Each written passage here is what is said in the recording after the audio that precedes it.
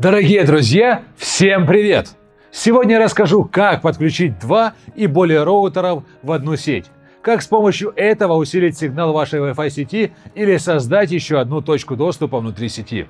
Рассмотрим два способа соединения роутеров кабелем или по Wi-Fi. Поехали!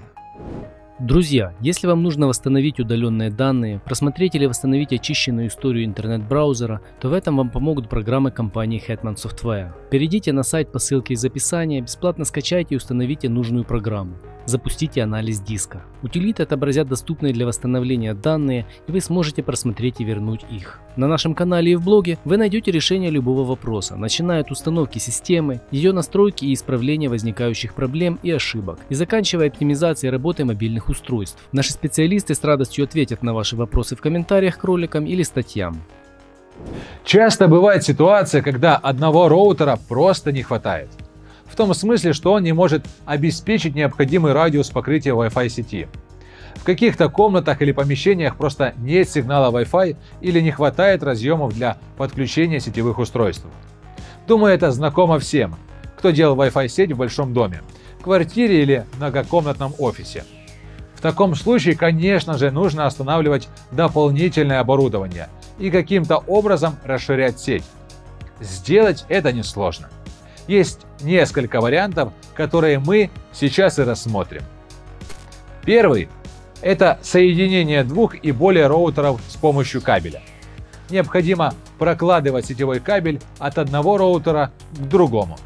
Это не всегда удобно, да, но это самый надежный и стабильный способ. Если вам нужна стабильная сеть с хорошей скоростью и для большего количества устройств, то лучше всего соединить маршрутизаторы именно кабелем. Второй способ – это соединение маршрутизаторов без проводов по Wi-Fi. В таком случае используется соединение в режиме моста, то есть VDS, клиента или в режиме репитера. По сути, это одно и то же. Просто на роутерах разных производителей эти настройки сделаны по-разному. Итак, дорогие друзья, у нас есть главный роутер, к которому подключен интернет, и он раздает Wi-Fi сеть. Нам нужно установить еще один роутер, например, в другой комнате или на другом этаже. Этот второй роутер будет как бы усиливать Wi-Fi сеть основного роутера и служить для расширения одной сети в удаленных помещениях. Второй роутер мы можем подключить к первому по кабелю или по Wi-Fi. Давайте теперь детально рассмотрим оба способа соединения. Чаще всего роутеры связывают именно по Wi-Fi. Это понятно – ведь не нужно прокладывать кабель. У меня в роли главного роутера выступает TP-Link TL-VR841N. Он раздает Wi-Fi сеть с названием Hetman Software. Обратите внимание, что роутер, к которому мы будем подключаться в режиме моста, должен быть настроен. То есть интернет должен работать, он должен раздавать Wi-Fi сеть. О том, как сделать такие настройки, у нас есть отдельное детальное видео можете ознакомиться с ним по ссылке, которая будет в описании. Вот здесь.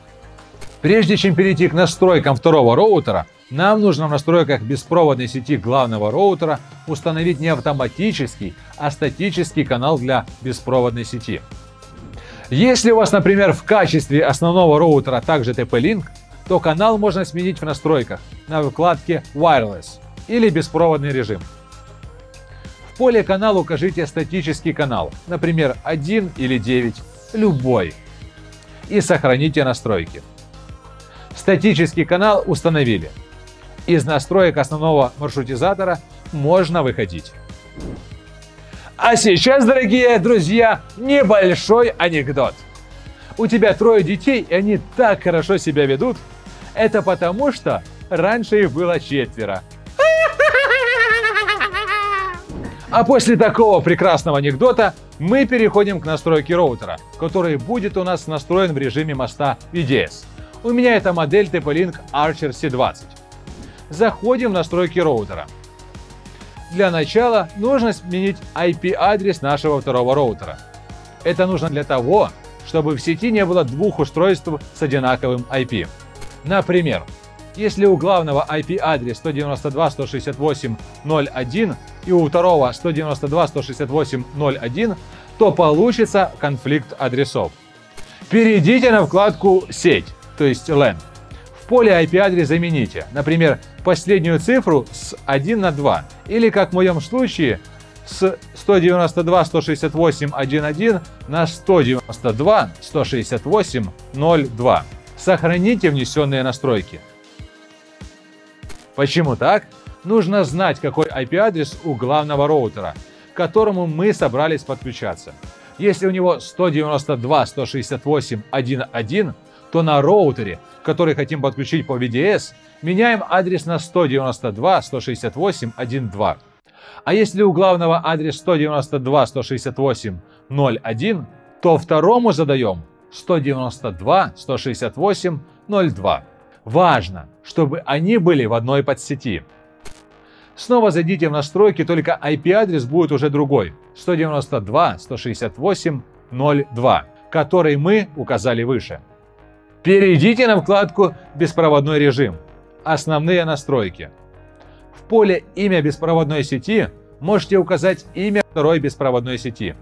А в поле «Канал» обязательно укажите такой же канал, который установили в настройках главного роутера. У меня это девятый канал. Дальше установите галочку возле «Включить VDS» и нажмите на кнопку «Поиск». Выберите из списка нужную сеть, с которой роутер будет получать интернет. Напротив нужной сети нажмите на ссылку «Подключить». Нам осталось только в поле пароль указать пароль к этой основной сети.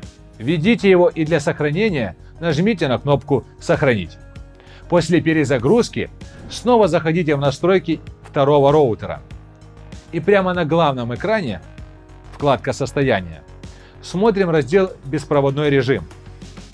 Напротив состояния VDS должно быть написано «Включено». Это значит, что наш роутер уже подключится к главному роутеру и должен раздавать интернет по Wi-Fi. Но интернет будет работать только по Wi-Fi, а при подключении к роутеру по кабелю интернет работать не будет. Для правильной настройки данной функции необходимо обязательно отключать DHCP сервер на том роутере, на который настроен VDS мост, то есть на том, который в моем случае второй. Также нужно, чтобы его локальный адрес был в той же подсети, что и изначальный роутер. Поэтому переходим в меню DHCP второго роутера и отключаем данную функцию. На этом соединение двух роутеров по Wi-Fi закончено. Выберите правильное место для установки второго роутера, чтобы он был в радиусе действия главного маршрутизатора. Установите на нем желаемое имя беспроводной сети и пароль. О том, как это сделать, мы уже детально рассказывали в ролике о настройке беспроводной сети Wi-Fi ссылка на которую оставлю в описании. Как создать сеть из нескольких роутеров, соединенных кабелем? Есть два способа соединить несколько роутеров в одной сети с помощью сетевого кабеля. Это так называемое LAN-LAN подключение, то есть создание сети из нескольких роутеров, соединяя сетевым кабелем их LAN-порты. И LAN-WAN подключение, то есть создание сети из нескольких роутеров, соединяемых сетевым кабелем LAN-порт главного роутера с WAN интернет-портом второго, подключаемого к основному роутеру. Давайте рассмотрим их детально. При LAN-LAN подключении берем два роутера и определяем для себя, который из них будет первым. Обычно это тот роутер, к которому проходит кабель с интернет от провайдера. Соединяем сетевым кабелем LAN-порты основного роутера с дополнительным. Будем считать, что первый роутер у нас уже с настроенным соединением интернета, поэтому этот шаг пропускаем.